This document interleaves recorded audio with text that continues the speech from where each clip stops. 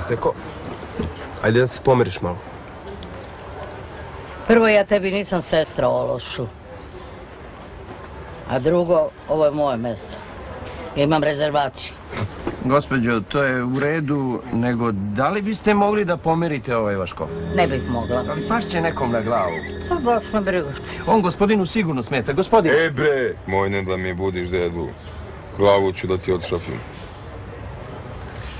Izvini, moj brat je malo mlad i nagao čovjek. Mislio na činjenicu da naš deda ima jednu jako retku bolest i ako se naglo probudi može da mu stane srce i da umre.